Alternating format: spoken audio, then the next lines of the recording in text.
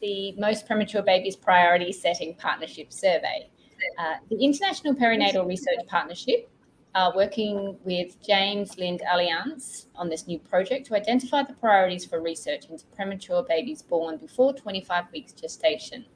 They want to make sure that future research addresses the questions that are most important to us, that being the parents, the carers, the adults themselves born extremely prem, and the healthcare professionals that care for them. So, earlier this year, an online survey asked those with lived experience and health professionals to share the questions they wanted researchers to answer. All the questions were submitted and gathered, checked against existing evidence, and a list of summary questions was created. Now, this is where you come in. You get to help choose the 10 questions from that list that you would like answered that matter the most to you, helping to determine the top 10 priorities for extremely premature babies. The survey is anonymous and will take you about 15 minutes to complete. So if you're born, if you're an adult born extremely premature, or the parents, family, or carer of a baby born extremely premature, please have your voice heard. This is really important. The results will be shared with the International Research Committee and funding bodies to help researchers design and conduct studies into these important questions and, and act as a guide for funding bodies and research institutions to determine what resources should be prioritized. So we had a quick look at the survey, and here are the headings of some of the priorities to choose from. I won't read it out, it's kind of all listed there. But yeah, healthcare professionals are also invited to fill in the surveys, um, but we want to make sure that um, families with lived experience and um, adults born um, premature also have their say too. Survey closes on the 10th of November, so I think it's really easy. It's, it's, a really nice way to participate without too much, you know, sort of time, and you can actually have a voice on this one too. So for 15 minutes of, you know, these are your key focus.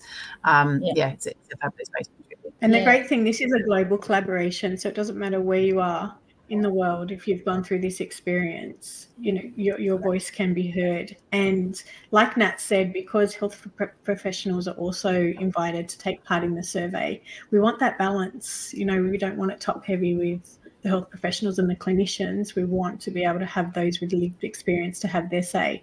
Now i know that when i jumped on and had a look so under each of those headings um, whether it's about respiratory management, feeding and nutrition, all those different topics. There's a selection of different priorities.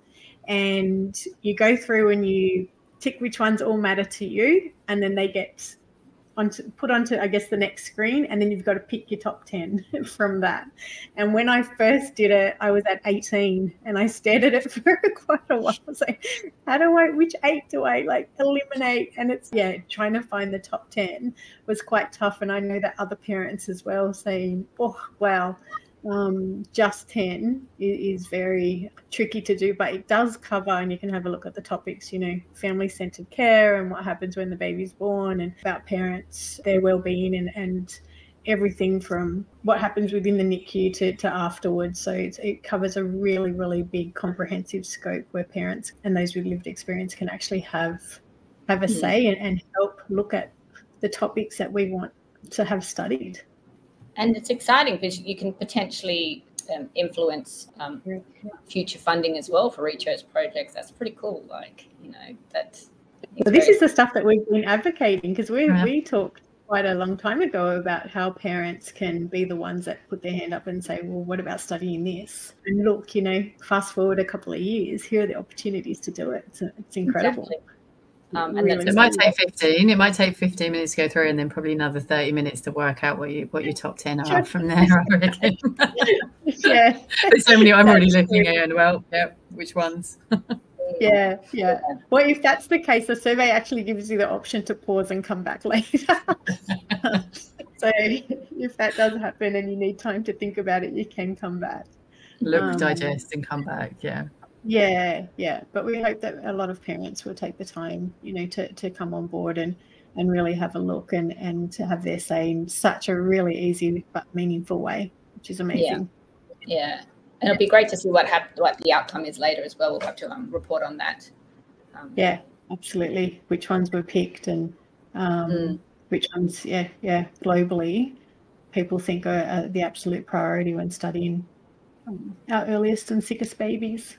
Yeah. It'd be interesting to see if there's, there's, trends from a global perspective as well, whether it's the same mm-hmm. trends or whether each country has different priorities. Yeah, that'd be interesting actually. Yeah, like there's analysis of that and yeah, the, how different mm-hmm. areas um, um, respond. Yeah. Yeah. I think the great thing about it being global, particularly, you know, we've talked about so many trials when we've had our chats Australia is quite, you know, isolated and relatively small. We can't get sometimes the big numbers um, of babies into trials, particularly for something that might be a rare condition.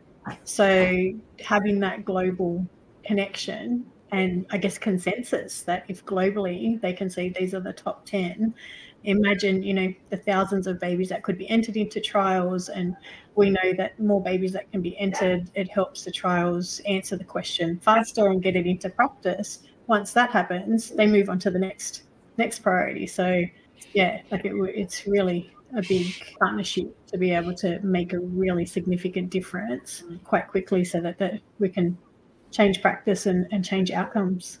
Mm. It's very exciting.